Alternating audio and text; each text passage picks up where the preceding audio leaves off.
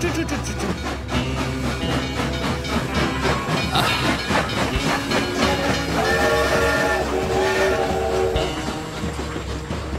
Ah, ah, ah, yeni ceketimin içine ettin.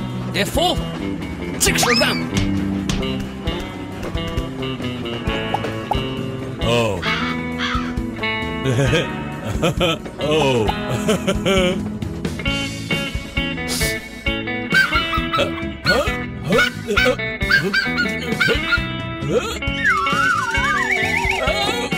saçma. O sadece bir tavşan.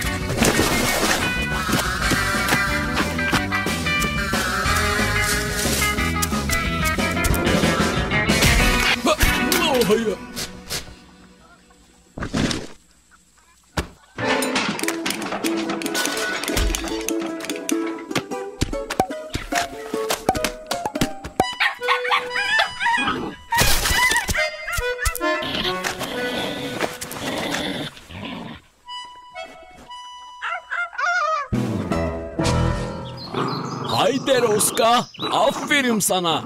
Böyle bir pike yap, aferin. Üç fıçıyı tuzlamak için yeterli.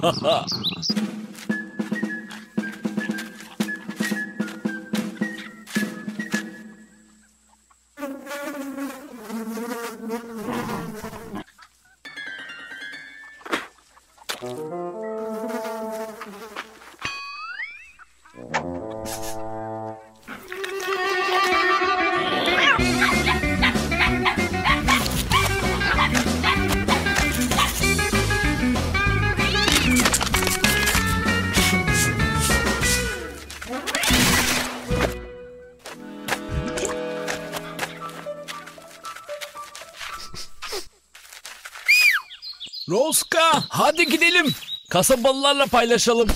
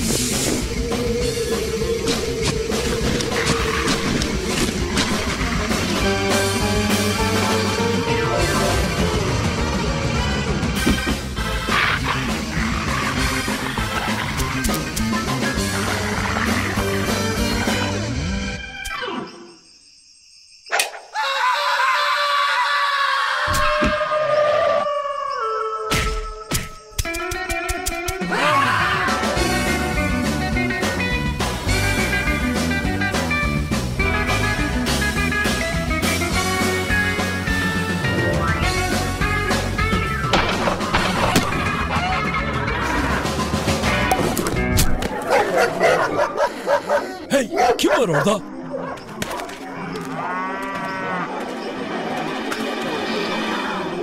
Ha, hayda Ruska. Aferin sana. Kurtların hepsini yakalamışsın.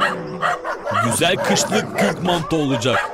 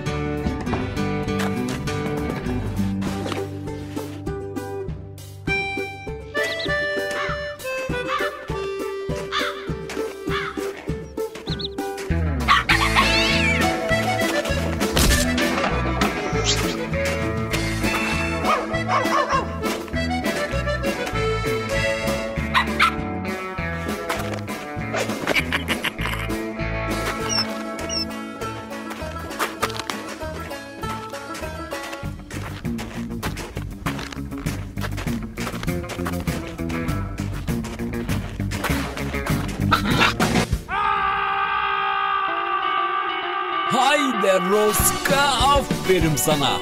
Çok tehlikeli bir hırsızı yakaladın aferin sana. Bırak bırak Roska'yı bırak.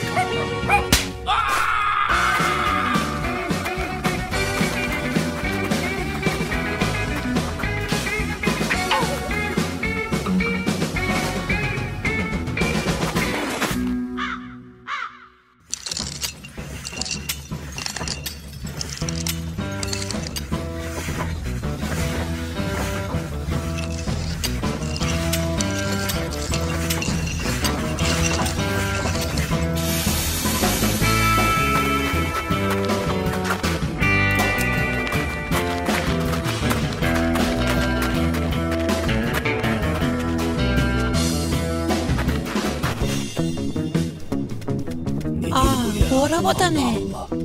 İçinde bir de soba var. Sobayı gördünüz mü? Ne kadar ilginç bir araba bu ya. Bu soğuk gayet de sıcak. Çok ilginç. Çok garip.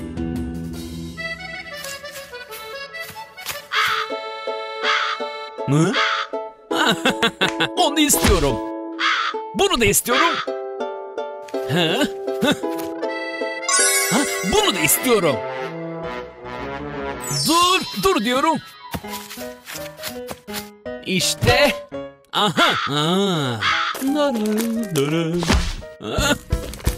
Narı. Aa, onu da istiyorum. Ah. Hı. Ah, istiyorum bunu da. Ah, bunu da istiyorum. Ah. İstiyorum.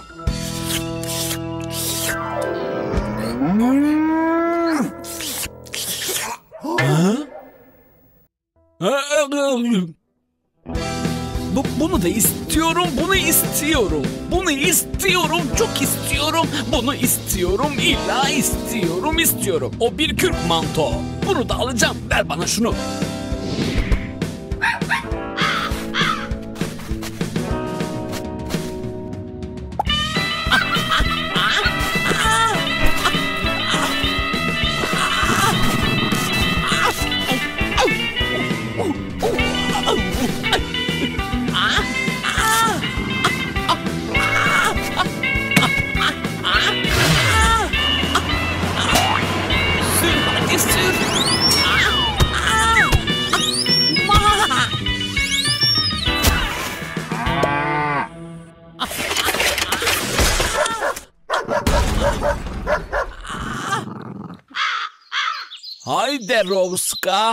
Aferin sana.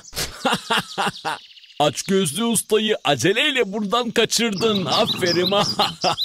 Kırk mantoyu hayatı boyunca unutamayacak bence.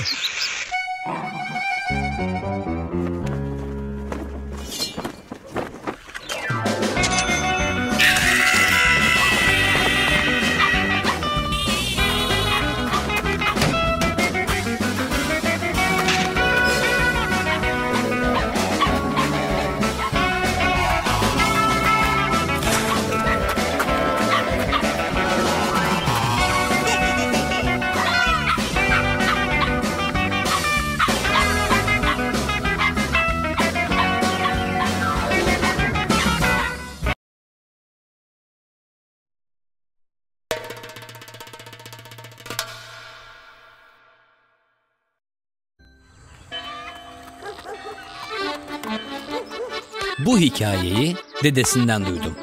Dedesinden duydum evet. Bir zamanlar emekli bir albayımız vardı. Köyümüzde muhtardı. Sansenov Alexey Kristonovich. O bir kahramandı.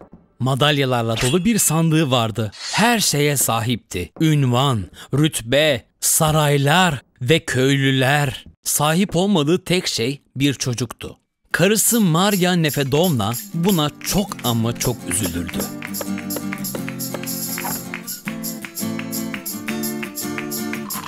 Sonra bir gün bir falcı ona Don Nehri'nde sihirli bir balık olduğunu söyledi. Bu balığı kim yerse bir çocuk doğurabilirdi. Erkek çocuk olursa problem yoktu ama kız olursa üçüncü damatla evlenmeliydi. Yoksa büyük bir sorun olurdu. Maria Nefedovna kocasına bu durumu heyecanla anlattı. Balığı almalıydılar.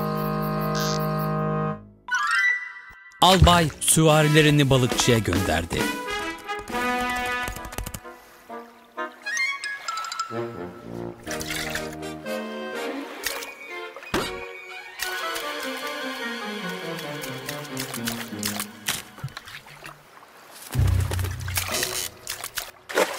Balık bozulmasın diye hemen kısa yoldan geri döndüler. Ama döndükleri yol çok kötü bir yerdi. Çok kötü.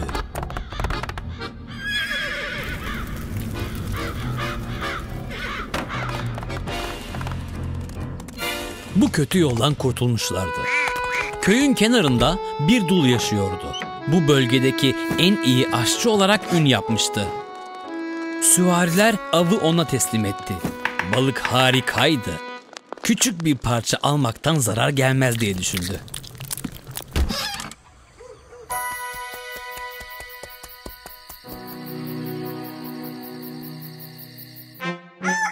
Balık gerçekten büyülü çıktı.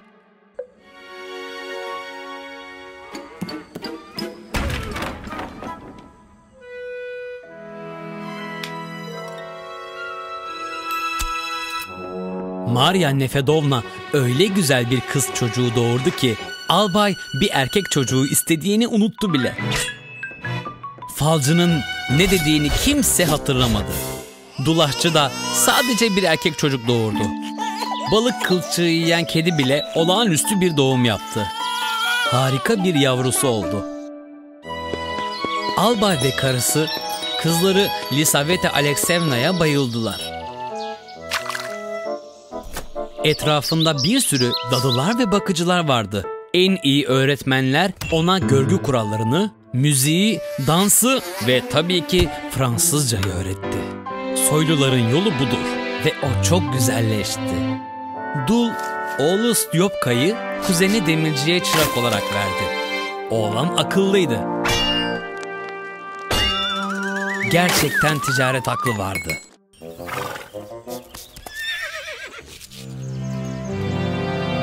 Kısa sürede kendisi de bir demirci oldu ve kediyi asistan olarak aldı. Bir gün albayın kızı yakışıklı demirciyi gördü ve ona aşık oldu. Genç bir kont ona kur yapmıştı ve reddedilmişti.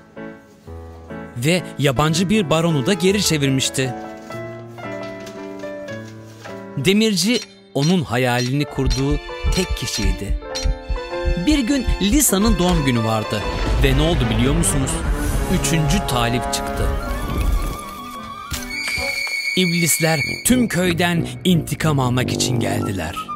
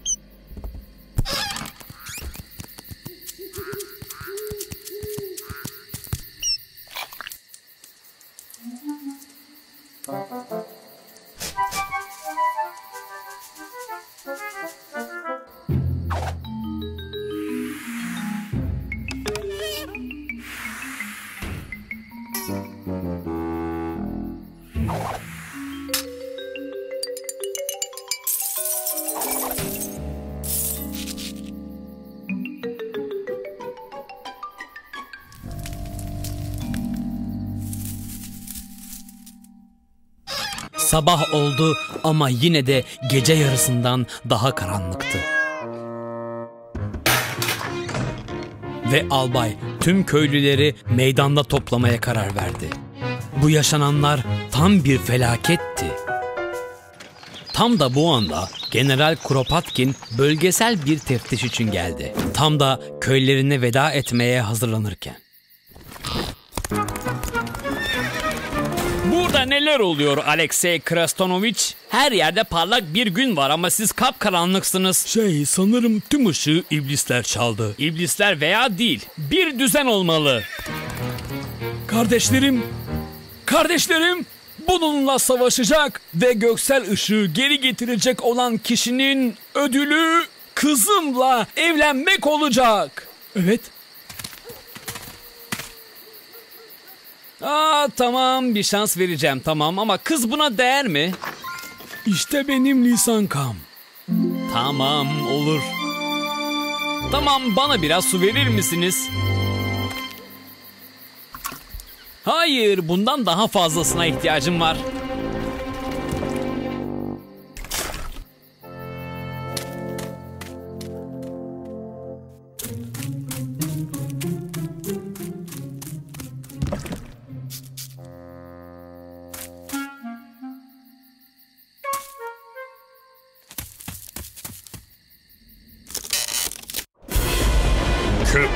Kim mahvediyor bakayım? E, Ben demirci ışıkları geri ver. Yoksa seni ve köprünü paramparça ederim. Hayır. Hadi savaşalım. Ha, peki sen ateş olacaksın ben su olacağım. Bakalım kim kazanacak.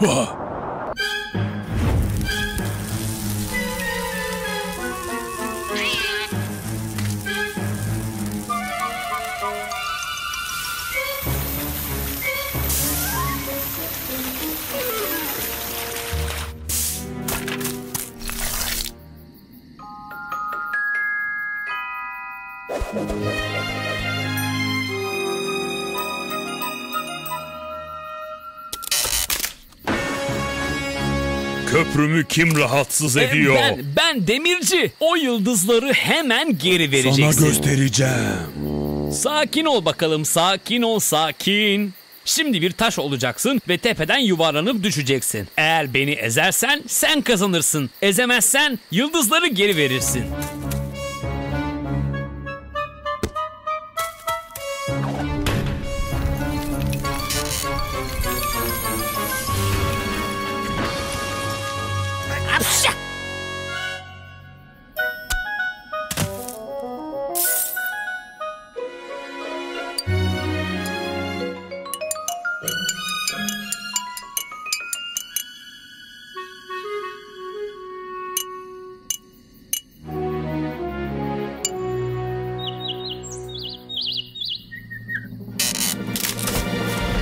Köprümü kim kırıyor? E ben demirci. Güneşi almaya geldim. Onu geri ver. Hayır bunu yapamam. Hadi dövüşelim. Sen deli misin? Zaten ikinizi de yendim. Kim daha iyi ıslık çalarsa o kazansın. Ee?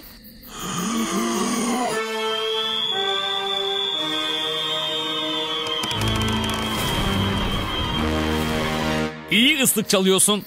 Şimdi benim sıram. Sadece gözlerini kapat. Yoksa kafandan fırlayabilir. İşte ıslığım. Ve bir tane daha.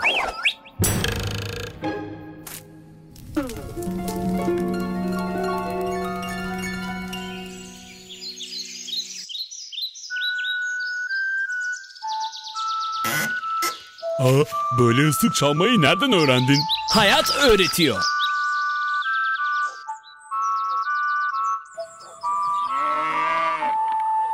Güneşle her şey daha güzeldi.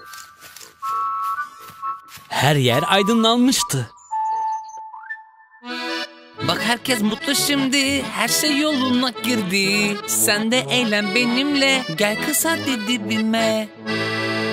Geldim dibine çok çok mutluyum ben de. Hadi sen de kıpırda durma öyle oklava. Herkes oldu mutlu, hepimiz mutlu. Hadi gel sen de benle söyleyelim birlikte. İşte herkes çok mutlu, bütün köy umutlu. İşte herkes çok mutlu, bütün köy umutlu. Kahraman, sen bir kahramansın. Damat. Stepuşka. O öyle bir düğündü ki Don Nehri'nin aşağı ve yukarılarından konuklar geldi. General Krupatkin bile ortaya çıktı. Gelini öpebilirsin. Stefan'ın annesi elbette oradaydı. Ve yaşlı kuzeni. Ve prensler ve kontlar ve sıradan vatandaşlar. Herkes oradaydı. Dedemin dedesi de oradaydı. Balı ve bütün yemekleri yemişti. Bana hiçbir şey bırakmamıştı. Stepan ve Lizeteva sonsuza dek mutlu yaşadılar. Herkesi memnun ettiler. Düzeni korumak için iblis tuttular. Bazen cehennem yumurtlaması bile bazı insanları korkutmak için kullanışlıdır.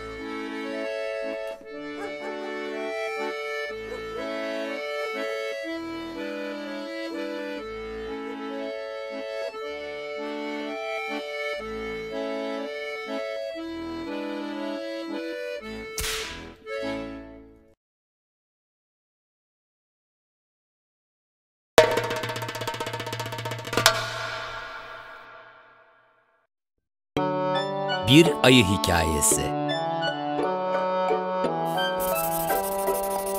Tayga'daki hayvanların kralı bir ayı hakkında size üç hikaye anlatacağım.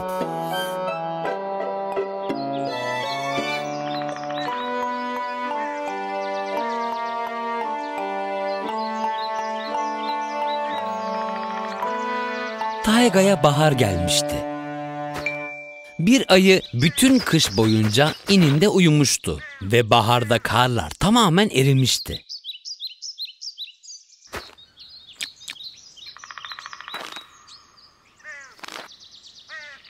Bahar geldi ama yiyecek bir şey yok. Ah.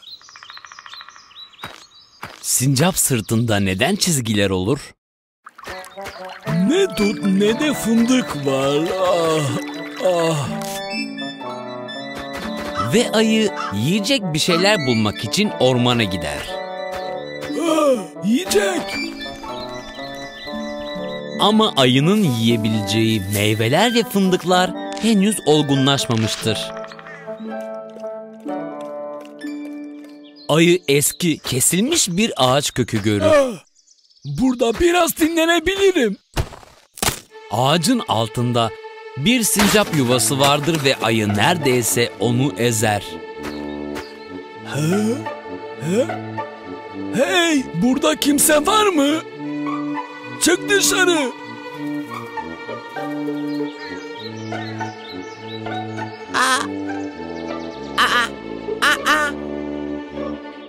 Aa, merhaba, merhaba baba ayı. Bizden ne istiyorsun? Merhaba sincap. Belki yiyecek bir şeyleriniz vardır. Aa, bir dakika. Sincap sonbahardan beri meyveleri ve kökleri yuvasında tutuyordu. Ha, işte, işte bir şeyler. Ha? Böylece sincap ileri geri, ileri geri koşmaya başladı.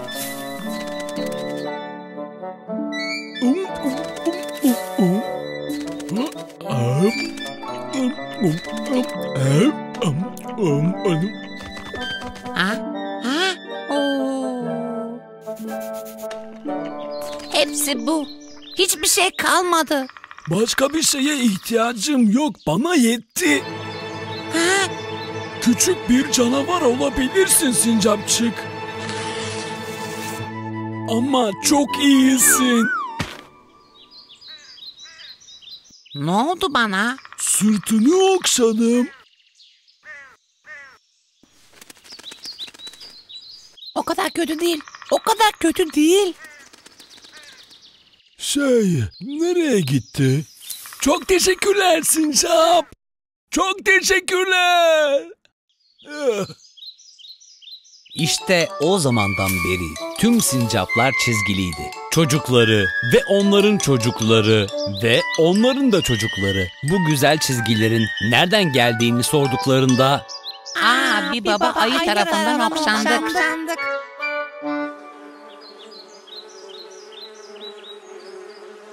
soğuk bir baharın ardından çilek, bal ve fındık açısından zengin bir yaz geldi. Hava çok sıcak. Belki çok yemek vardı ama çok da sıcaktı. Ayı ağaçların altında sıcaktan saklanıyordu. Havuz balığı neden düzdür? Gölde bir havuz balığı yaşıyordu. Kendisiyle övünen bir zorbaydı.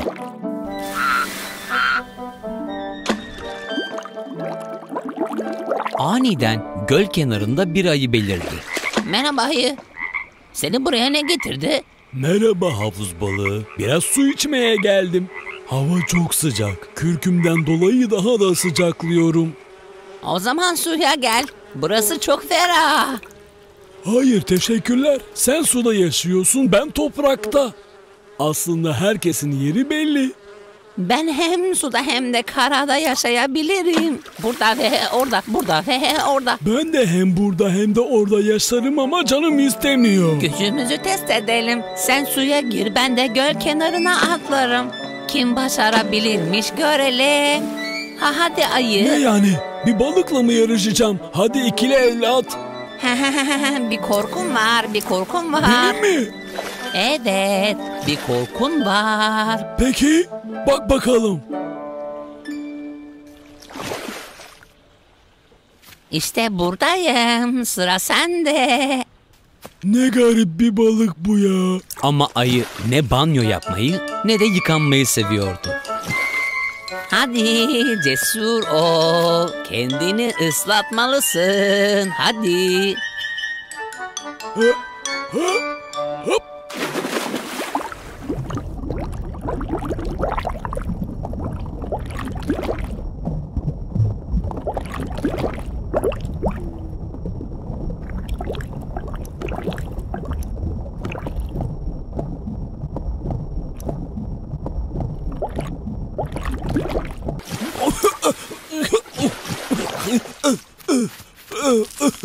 Gücümü daha fazla test etmeme gerek yok. Bu kadar yeter.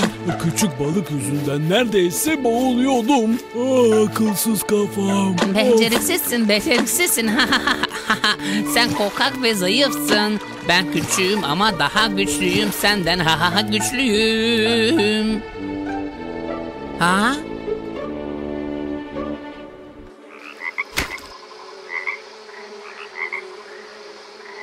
Böylece havuz balığı yuvarlak ve kalınken düz ve ince oldu. Artık böyle yüz bakalım. Hiç utanman yok. Balık benimle tartışıyor. Gücümüzü test edelim diye. Derinliklere dal bakalım. Bunu beğendin mi şimdi? Ve bundan sonra tüm havuz balıkları, onların çocukları ve onların çocukları her zaman düz oldular.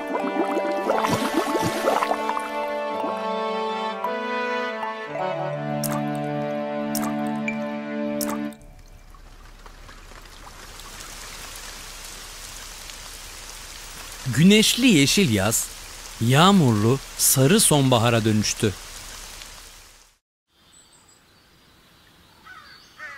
Donuk tonlar zengin ve sağlıklı çam fıstığı renklerine dönmeye başladı.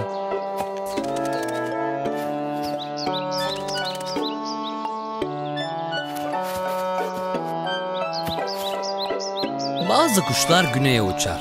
Bazıları ise yerlerinde kalır. Taygada çok acıktığı bir kıştan sağ çıkmıştı. Bir fındık kıran olarak kendine fındık arıyordu.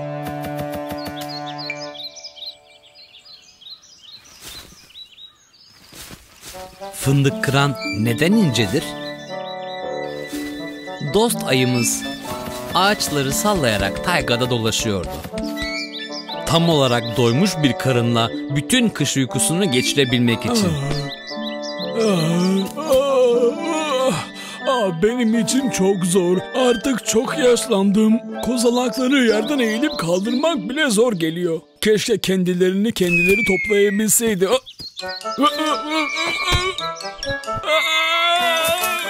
ay ay. ay. Ay, ay, ay. Ay, iyi günler sevgili tatlı ve tontiş ayımız. Merhaba fındık kıran. Bu kozalaklarla ne yapıyorsun? Ben sana en iyisini getirdim ve sana on tane daha getirebilirim. Burada onlardan çok var. Onları almama yardım etsen iyi edersin. Elbette sana yardım edeceğim tontişim. Ama bir bak, burada o kadar çok kozolak var ki tek başıma baş edemem ben. Tüm arkadaşlarımdan yardım isteyebilir miyim? Tabii isteyebilirsin. Hepsi sana yardım etsin, yardım etsin, yardım etsin. Yardım, yardım, yardım. Hey bakın bakın.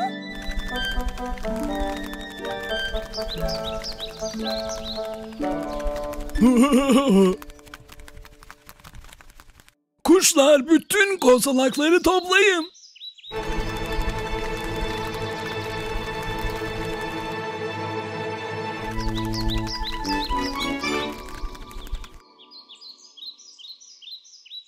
Hey, güzel kuşlar.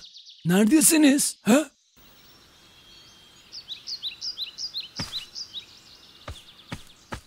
Aa. Bu da benim. Şaşkın ayıcık. Sen kötü bir kuşsun.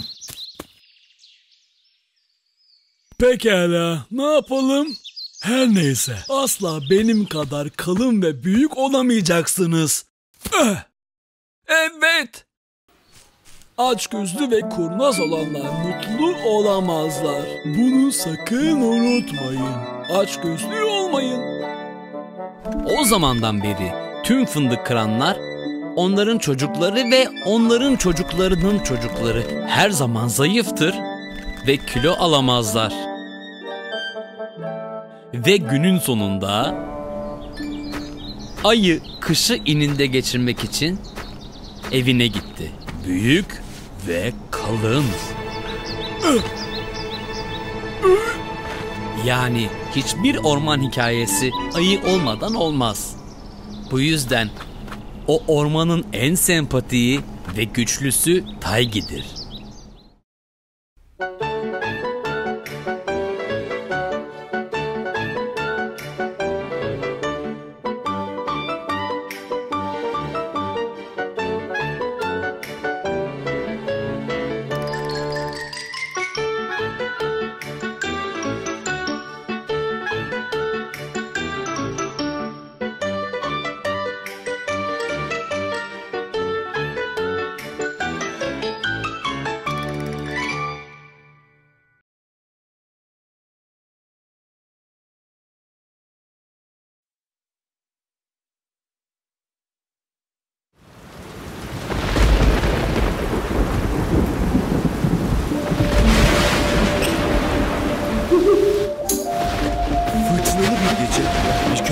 Sahibinin evinde hiç beklemediği bir şey oldu.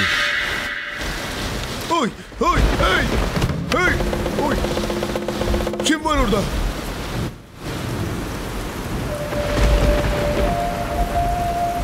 Ne korkunç bir hava. Tek kelimeyle kedi köpek Ya, gibi. kış geldiğinde çok daha kötü olacak. Bence hemen kaybolun. Madem öyle beraber duralım. Biz tavşanla yaklaşık iki yıldır beraberiz. Yapışık ikizler gibiyiz. Eğer üç kişi olursak kışı çok daha rahat geçiririz.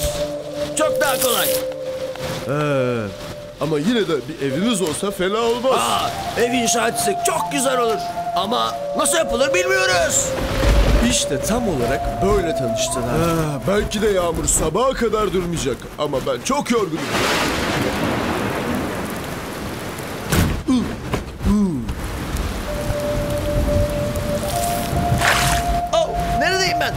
Ormandasın tabii ki. Bal, biftek. Ben seyahat ediyordum. Güneye doğru. Bir köylünün çiftliğinde olmaktan çok sıkıldım. Biliyor musun? Benden tavuk çorbası yapacaktı. Baksana korkudan hıçkırık bile tuttu. Baksana neden kışın bizimle kalmıyorsun? Hem belki biliyorsundur. Ev yapmayı. Ev mi? Çok basit. Bana bırakın.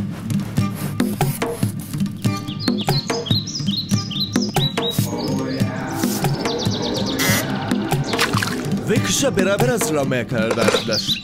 Ayı bir arı kovanı yaptı. Kışın çay içerken içine bal koyabilmek için. Kurtsa nehirden balık tutuyordu. Onu ısıtıp yemek için.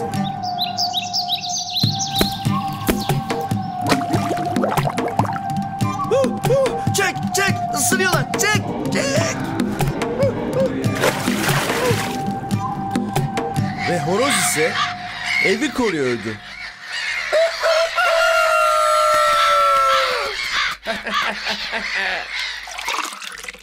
E arkadaşlar, sizce de inek almamız iyi bir fikir değil mi? Aa, evet inek çok güzel bir fikir. Süt, Tereyağı, biftek. Bir fikrim var arkadaşlar. Sütten tereyağı yapabiliriz. Ve onu kışın afiyetle yeriz. Evet. Ve bir inek almaya karar verdiler. Peki tavşan, he, ben yokken üzülme tamam mı? Ve tavşan eve göz kulak olmak için evde kaldı.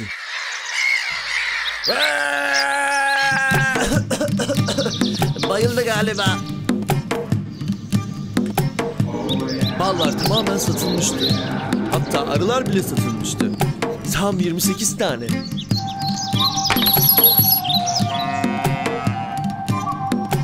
Ve bir inek aldılar. Her sabah tavşan ve kurt ineği otlatmaya getiriyordu. Aha!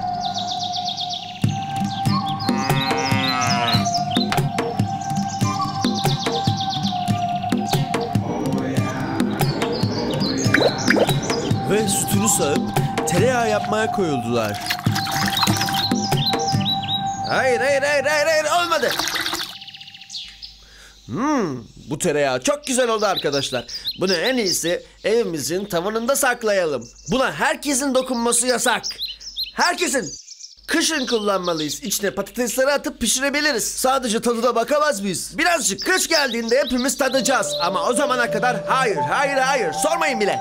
Aa, galiba haklı. Kurallar koymalıyız. Sonbaharın sonuna kadar çok fazla tereyağı biriktirmişlerdi. Merhaba, herkese iyi akşamlar. Sen nereden geldin? Ben dünyada yapayalnız kalmış öksüz bir tilkiyim. Gidecek hiçbir yerim yok ve sahip olduğum tek şey boş bir sürahi. Lütfen kalıp sizinle yaşayabilir miyim? Ee, evet, tek başına yaşamak çok zordur. Evet bu doğru. Biz tavşanla burada tam iki sene yaşadık. Ha, evet. Hmm, o zaman bizimle yaşa tilki. Hem ne kadar kalabalık olursak o kadar güçlü oluruz. Ve işte tilki de onlarla böyle yaşamaya başladı. Herkese arkadaş canlısı davranıyordu. Ve çok yardımseverdi. İşte bir kurt geliyor seni ısıracak. Aa, her zaman kurtuz uçmayın zaten. Aa, kar yağıyor. Belki de vakti gelmiştir. Tereyağını yemenin. Bence asla acele etmemeliyiz. Tam olarak kış gelmedi. Çok erken. Hmm, ya yarın? Yarın yiyebilir miyiz? Hmm, yarın da yarın düşürürüz. Boş versene. İşte tilki tereyağını tam olarak böyle öğrendi. Ya size hiç bırakmayacağım. Hey, öksüz tilki evde mi? Evet burada. Geri gelecek. Ona bir doğum günü partisine Badgers'a gelmesini söyle. Bebeğe bir isim bulacak. Tamam merak etme. Biz ona söyleriz. Hey tilki, bir porsuk seni doğum günü partisine davet etti. Peki o zaman gitmeliyim. Onları yağladım ve onları alt ettim. Ve tilki böylece tereyağının yerini ve ağacın yerini öğrenmiş oldu. Ee, orada sana ne ikram ettiler? Eritilmiş tereyağlı dolgulu kızarmış balık köftesi. Ee yavru porsuğa ne isim verdin? Ne isim verdin? Primo. Sonraki gün yine aynı şey oldu. Tekrar doğum günü partisine davetliyim. Peki şimdi ne isim seçeceksin? Medio. Ve üçüncü gün tilki son tereyağını da çaldı. E bugünkü bebeğin adı ne olacak? Finalio. Ve sonunda gerçekten kış geldi. Belki de artık tereyağımızı yememizin vakti gelmiştir. Geldi de geçiyor bile. Evet artık vakti geldi. Hey tilki git de tereyağını getir. Ha? Kim? Ben? Ve tilki birden bahaneler üretmeye başladı. Ah, hayatım boyunca bu kadar yükseğe tırmanmamıştım. Korkunç. Bacaklarım yol veriyor. Dayanamıyorum. Düşeceğinden korkuyorum. Ah, ah. Burada tereyağı yok. Ne? Olamaz nasıl yok ya? Nasıl? Olamaz. Nerede bu tereyağı? Nasıl? Nasıl olur? Nasıl da istemiştim. Onu yemeyi. Önce hırsızı bulmalı ve onu suçlamalıyız. Evet bul ve cezalandır. Evet ama nasıl? Önce büyük bir ateş yakalım ve etrafına uzanalım. Tereyağımızı yiyenin göbeği sıcaktan birazdan tereyağı olacak. Hmm, çok mantıklı. Aynı yumurta gibi.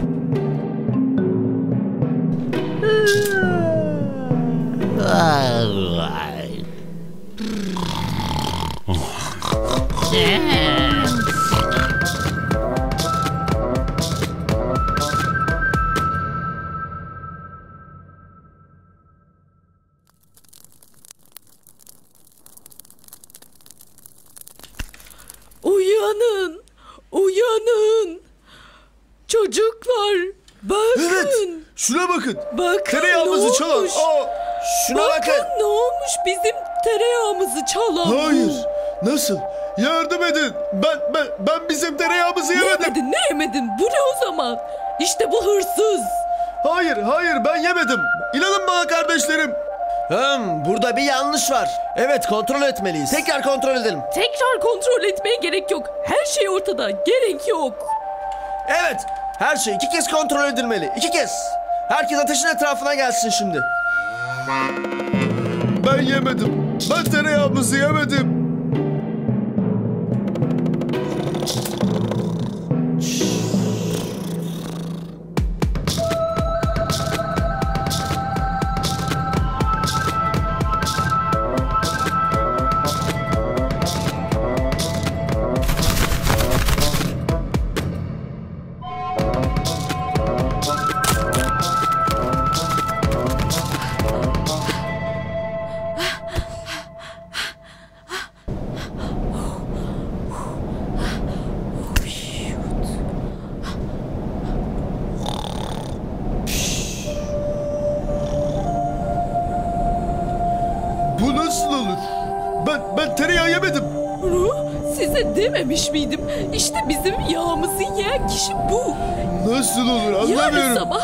Seni burada asla görmeyeceğim.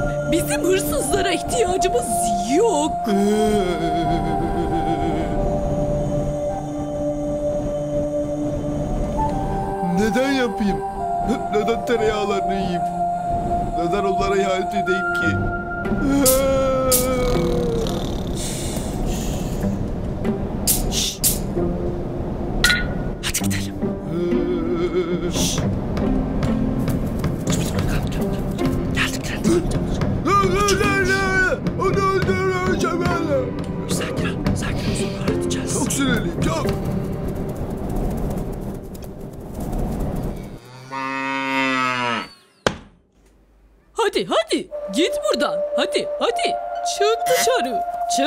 dışarı. Bizim hırsızlara ihtiyacımız yok. Git başka yerde çal. Ben gidip biraz kar temizleyeyim en iyisi. Hadi biz de. Odun keselim.